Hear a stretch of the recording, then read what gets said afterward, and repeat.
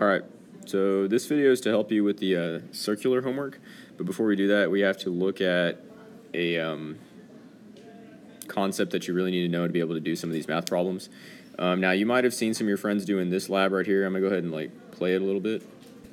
So check it out. So they have like a little string. There's a stopper there. You notice that it pulled down. It pulled down this wire right here when I put a weight on it down here,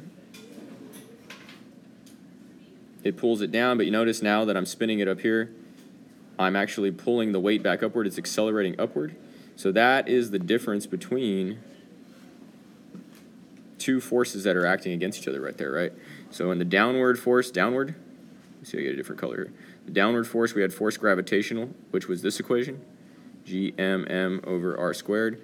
But since we're near Earth, all this right here becomes little g. So actually, remember, force gravitational is equal to m times little g. This was also called weight, right? You remember that? Okay, so we're saying weight right here versus the force pulling inward to make this thing into a circle, right? Because if you think about it, there's a string going up the pipe, goes out that way. The force is pulling downward, downward, downward, downward, downward, downward. When it gets here, it takes a turn, and now it's pulling towards the center of a circle right? And so that force up here is called force centripetal, right? So basically the concept you need to know is that force centripetal equals force gravitational. And what is our force centripetal equation?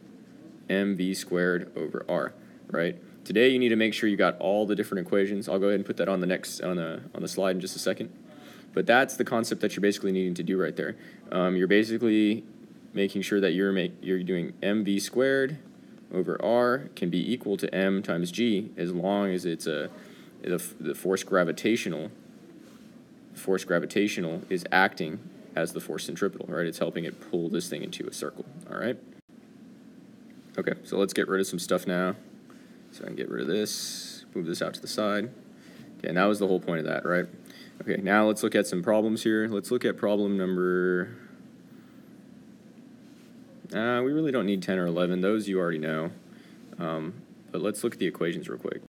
Okay, so here are our equations right here. If you want, you can go ahead and pause and get those down. Um, just also remember that if you flip these guys, you got frequency, right?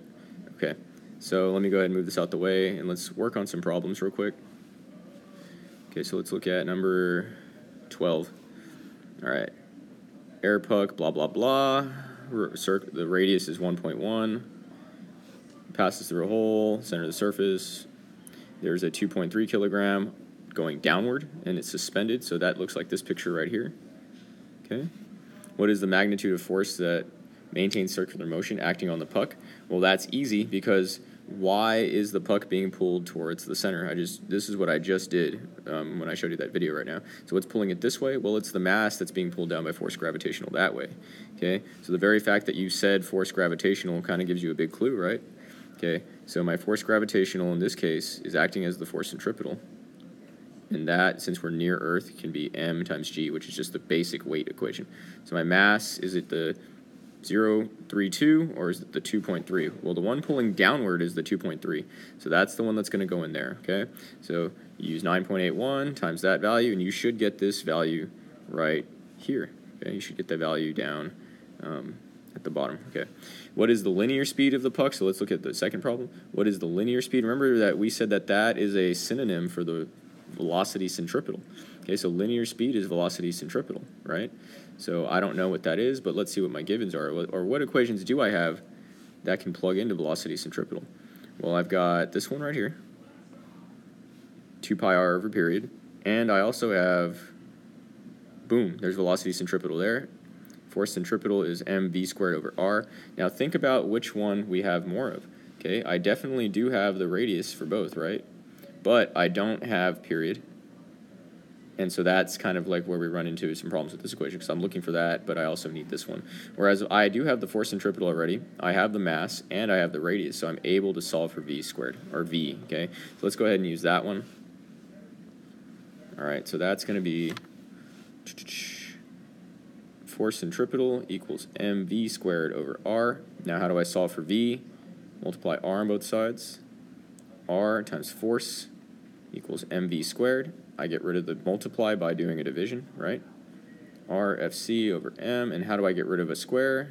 I do a square root, okay? So that's the equation I'm going to use, and just make sure to plug in the right values into the right thing. Which mass am I going to use? Am I going to use the 2.3?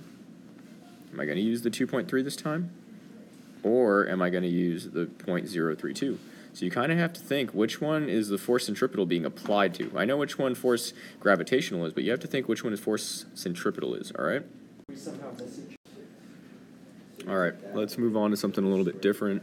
Um, the rest of the problems are kind of similar to that, but there's one on here I definitely wanted you to know how to do because um, it's kind of strange. Ah, didn't mean to do that. Alrighty, so let's go ahead and move on to the next one. The rest of the problems that are related to this guy, anytime you see like a brick or something like that hanging from something like here, these problems are going to all be the kind of the same.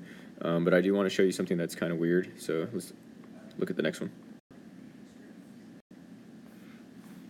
All right, um, so let's look at 17, because 17 is kind of conceptually really strange, but it's not that bad. Um, let me just show you kind of how to set this one up real quick. So an airplane flying in a horizontal circle at a speed of 100 meters per second. So automatically, I'm going to go ahead and just draw this out. Um, so I do the tangential speed 100, just so I know. Um, an 86 kilogram pilot, so I go like there. M is 86. Okay. Um, wants the centripetal does not want the centripetal acceleration to exceed 6.3 times free fall acceleration. Find the minimum radius. So I'm looking for the looking for the radius, looking for r there, r equals question mark of the plane, and you're going to use g equals 9.81. Okay, so the key here is that you don't know what this is. This you don't know. You don't know the radius there. Um, but you know his mass, you know his velocity. What you're looking for now is the radius based on an acceleration that you were given, right? The acceleration centripetal can't be more than 6.35 G, uh, G, little g, right? And little g, we do know it's 9.81. Does that make sense? So when you're saying like g forces, it's multiplying times um, free fall acceleration. So it kind of gives you a sensation when you drop and change direction really quickly like this. You go, it makes you feel like you're uh, you're accelerating really, really fast and you get heavier, right? So that's what g forces mean. Okay, so in this problem, your givens are you do have the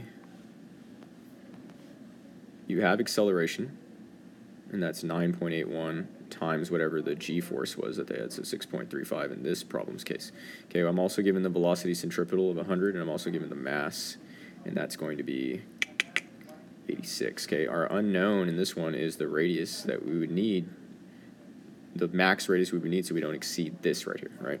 So our equation is going to be, what equation fits all that? Let's see. Okay, well, okay, let's see what we got here. Hmm. Let's move some stuff out the way. So we can see a little bit better. All right, so automatically I'm probably thinking this one, right? But let's go through it a little bit more. Well, I got V, I have mass, but I don't have force, so that's a problem because then I would have two missing variables. Uh, this one's no good because there's no radius. There's radius here, but I don't have period. Okay, so that's no good. Um, then look here, acceleration. And we have velocity, which I am looking for. Or no, I don't. I don't. I have this one, and I also need radius, right? So this is the one I'm going to use right here. So you see how I did that? I kind of had to go through and see what I had and didn't have, and then I make a decision that way. All right, so let's go ahead and try that out. Acceleration centripetal equals v squared over r. I'm solving for r. Remember, it's a top and a bottom, so how do I solve for it? I can just swap these out, right? r equals v squared over a. And then from there, I got my 100. This would be my 6.35 times 9.81, right? And then I would be able to solve for that. All right, cool. Um, that's pretty much how you do most of these right here. If there are any other weird ones, go ahead and let me know.